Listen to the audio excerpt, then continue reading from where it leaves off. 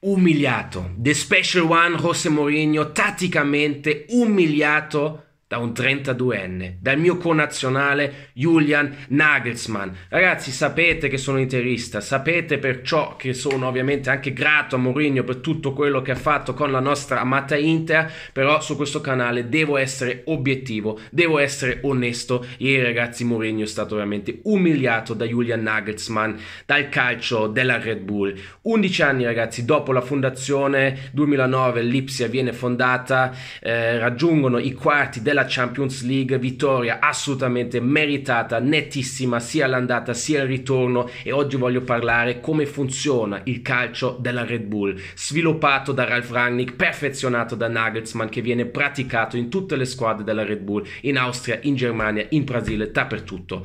Innanzitutto però vi invito anche a scaricarvi l'app di OneFootball, migliore applicazione per stare sempre aggiornati sul mondo del calcio, vi lascio il link in descrizione, completamente gratis. Allora, Tottenham perde tutte le quattro partite contro squadre tedesche sia contro il Bayern Monaco sia contro l'Erbi Lipsia. L'Erbi Lipsia diventa dopo Bayern Monaco, Dortmund, Leverkusen, Kaiserslautern, Schalke e Wolfsburg la settima squadra a raggiungere i quarti della Champions League. La Bundesliga sotto questo punto di vista adesso è solo dietro la Spagna e dietro l'Inghilterra dove sono stati addirittura otto squadre. Cosa c'è da dire ragazzi? Vi ho fatto un video lungo come mai i tedeschi odiano l'Erbi Lipsia. Ci sono tantissime polemiche, tantissimo odio per esempio anche con contro Timo Werner. Vi lascio tutti i link in descrizione. Chi ancora non ha visto questi video, sapete che anch'io sono un po' scettico verso il progetto della Red Bull da, da tifoso tradizionale. Mi fa un po' paura vedere una multinazionale che trasforma eh, dei club, che vuole anche trasformare dei club con tradizione in progetti di marketing, cambiando anche logo, stemma, nome, eh, cambiando veramente tutto quanto. Però questo è un lato, ragazzi. Ne abbiamo già parlato abbastanza. In questo video oggi voglio parlare del calcio giocato, voglio parlare proprio del progetto, del concetto della Red Bull che ormai è un network mondiale. E perciò ragazzi analizziamo un po' il calcio in questo, in questo video di Julian Nagelsmann dell'Erbi Lipsia. E c'è assolutamente da sottolineare che l'Erbi Lipsia sta facendo qualcosa di fantastico per il calcio tedesco ragazzi, sia a, livello, a livello nazionale la Bundesliga è equilibrata come mai, ci sono sono tre squadre lì in testa, Bayern Monaco, Borussia Dortmund, RB Lipsia che stanno ancora lottando per lo scudetto, ci sono altre squadre che piano piano stanno un po' copiando il modo come gioca l'RB Lipsia, per esempio c'è il Borussia Mönchengladbach che giocano un calcio abbastanza simile a livello tattico, che in questa stagione nessuno se lo aspettava, anche loro stanno lì davanti e mancano pochissimi punti alle prime, alle prime squadre, perciò sia a livello nazionale la Bundesliga è equilibrata come mai, sia a livello internazionale,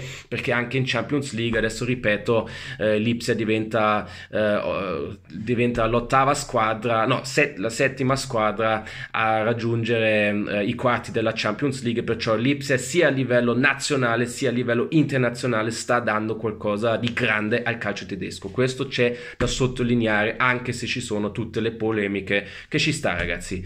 Eh, viviamo in democrazia e possiamo tutti quanti avere delle opinioni diverse diverse. Allora, a partire di ieri, in palleggio, sicuri, veloci, dominio assoluto del centrocampo. Ho visto veramente un centrocampo scandaloso del Tottenham. Il capitano Marcel Sabitzer, che ha giocato sia al Salisburgo sia adesso eh, al Red Bull Lipsia. Esempio proprio simbolico per quello che sta accadendo, come si aiutano anche le squadre che stanno in questo network della Red Bull. Segna due gol, uno addirittura di testa. Mi pare non abbia mai segnato un gol di testa lavora tantissimo però anche contro la palla, partita veramente fantastica del capitano dell'Erbi Lipsia. Allora, come ho già detto ragazzi, tutti i club della Red Bull giocano un calcio simile, calcio che secondo me è proprio la visione di gioco di Ralf Rangnick che potrebbe anche arrivare in Italia all'AC Milan, anche lì ho fatto un video lungo, vi lascio anche qui il link in descrizione ragazzi. Allora, giocano un calcio rapido con un pressing ultra offensivo, grande intensità con queste verticalizzazioni velocissime tantissime. Borussia Mönchengladbach, ripeto ragazzi, hanno un po' uh, copiato questo, questo, stile di gioco um, e stanno solo 4 punti dietro, dietro all'Ipsia. Uh, se vediamo la partita di ieri, Loris è stato spesso costretto a fare questi lanci lunghi perché subito iniziava sempre questo pressing ultra offensivo uh, dell'Ipsia. Verna, Chic, Nkunko, i, i tre attaccanti pressano sempre subito la difesa a 3 del Tottenham, Mukile e Tassende che sono gli esterni spingono e pressano anche gli esterni del Tottenham, soprattutto ho visto Aurier molto molto in difficoltà che non mi ha convinto in questa partita eh, di, di, ieri. E Verna, Schick e Nkunko ragazzi sono dei giocatori anche intelligenti che non solo pressano, chiudono anche sempre le linee di passaggio per Celso, lo, per lo Celso e per Wings.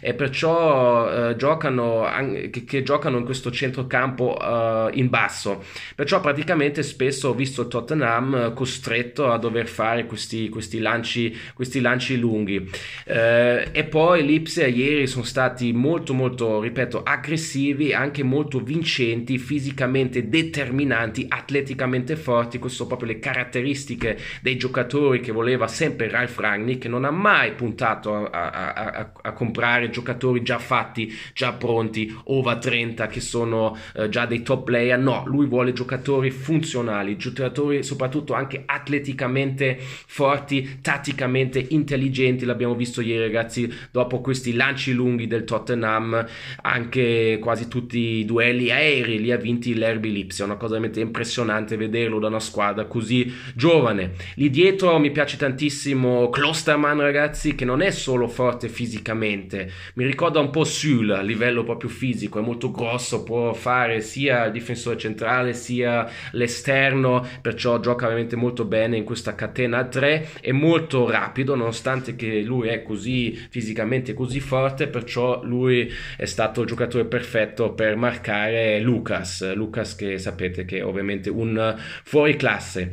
Perciò questi spostamenti, questo pressing verso il pericolo con cambi posizionali dell'Erbi Lipsia, un altro esempio ragazzi è Upa, Upa Che, che, gioca nella difesa a 3 a centro, che anticipa spesso i palloni, esce dalla difesa a 3, per esempio per pressare Dele Ali, ha pressato tantissimo su questo ragazzo giovane e subito questa difesa a 3, che in teoria poi restano solo due giocatori, se Upa eh, Meccano esce, anticipa tutti questi palloni, si trasforma sempre in una classica catena a 4 perché in pratica restano solo i due difensori centrali e poi vengono in basso anche i due esterni Tassende e Mukiele ragazzi perciò una grande disciplina tattica e ormai questi movimenti sono proprio nel DNA dei giocatori eh, perciò veramente tanta tanta roba. Vedere questi, questi spostamenti eh, anche posizionali che rendono l'Ipsia molto molto flessibile ed è veramente molto molto difficile giocare contro l'Ipsia sia in fase offensiva sia in fase difensiva. E poi ripeto verticalizzazioni eh, veloci dopo, dopo queste transizioni un gioco molto rapido un gioco spettacolare un gioco anche bello ragazzi. Parliamoci chiaro l'Ipsia ci regala anche un calcio bello e poi spesso passaggi lunghi su Timo Verna che è uno che ha voglia uno che cerca gli uno contro uno. A me non piacciono gli attaccanti esterni che hanno paura di tentare il dribbling che hanno paura di cercare l'1-1 che hanno paura di eh, creare superiorità numerica. Invece Timo Verna non è così ragazzi. Lui si sposta dappertutto a destra a sinistra prova sempre ad andare nell'uno contro uno e in queste transizioni veloci in queste verticalizzazioni Timo Verna è veramente determinante. In fase di possesso anche lì Upamecano giocatore secondo me chiave molto importante spesso si posiziona a centrocampo addirittura come mediano e perciò Sabitza che abbiamo già parlato del capitano dell'Ipsia che gioca in questa posizione si sposta avanti. Anche lì ragazzi di nuovo vedete quanto è flessibile il gioco dell'Erbi Lipsia perciò posizioni fisse che ormai nel calcio moderno non ci devono più essere non ci sono nel gioco di Julian Nagelsmann poi eh, Verna viene anche tantissimo in basso spesso si porta via due giocatori ripeto uno che va a destra a sinistra in profondità in basso e poi in queste situazioni spesso ho osservato ieri lui viene in basso si porta via due giocatori perché tutti lo sanno che Verna è pericoloso e due esterni entrano in questo spazio attaccano la profondità. Ragazzi, che vi devo dire? Mi mancano un po' le parole perché sapete, non amo tantissimo il progetto della Red Bull sotto alcuni punti di vista, eccetera, ma stanno giocando un calcio meraviglioso, un calcio mi sto emozionando, come quando vedo il calcio dell'Atalanta, perché io ragazzi sono tifoso, ho due cuori, sono tifoso, ma sono anche un amante del calcio, del calcio giocato. Io lo amo, quando vedo delle squadre che giocano alla perfezione mi viene la pelle d'oca, ragazzi. Perciò ieri veramente a livello proprio di tifo del calcio giocato mi sono emozionato vedere questo, questo Lipsia. Perciò facciamo una piccola sintesi, incredibilmente aggressivi, hanno vinto tutti i duelli aerei, verticalizzazioni velocissimi, chiudono le linee di passaggio velocissime delle transizioni, tanta tanta roba ragazzi. Inoltre una squadra ancora giovane come ho letto su Transfermarkt, dove spesso guardo le, le statistiche, l'Ipsia ha una età media, cioè hanno mandato in campo nella Bundesliga la form- formazione iniziale più giovane in assoluto, con 23,3 anni, mi pare stato contro il Werder Bremen,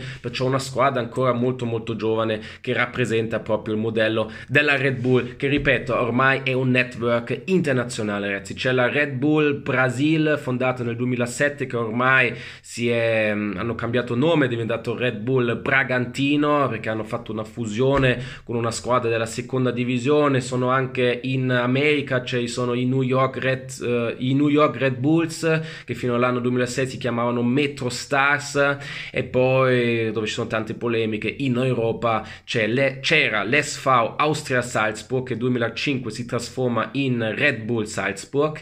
Uh, in Europa League 2018-2019 abbiamo visto una cosa quasi irreale ragazzi ragazzi giocare Erbi Lipsia contro Erbi Salisburgo, che capisco le polemiche perché è un po' strano vedere giocare due squadre della Red Bull che si affrontano, eh, considerando che Red Bull Salisburgo ha mandato già una ventina, mi pare sono 18-19 giocatori, se adesso non mi sbaglio, che sono già arrivati da Salisburgo a Lipsia, ragazzi. Il concetto è ben chiaro. Ci sono diverse squadre, dove, come per esempio nella seconda divisione eh, in Austria c'è l'F FC Liefering, che è la squadra più scarsa in questo network, anche se devo dire stranamente sulla carta ho fatto le mie ricerche, è un club indipendente, però il concetto è ben chiaro ragazzi, giocatori giovanissimi, talenti giovanissimi che ancora non sono pronti per giocare a Salisburgo vanno all'FC eh, l'FC Liefering, se poi sono pronti vengono a Salisburgo, se sono pronti vengono addirittura a Lipsia.